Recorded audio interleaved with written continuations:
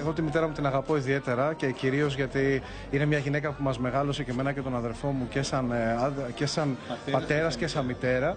Ε, ο πατέρας μου θεώρησε σωστό σε μια πολύ μικρή ηλικία και ιδιαίτερα ευαίσθητη για εμάς να μας αφήσει και να πάει να τραβήξει το δρόμο του. Δεν ξέρω ακόμα και τώρα που βρίσκεται. Τον τρίτο μου αδερφό τον εγνώρισα, τον αναζήτησα μέσα από το Facebook και τον ευρικά.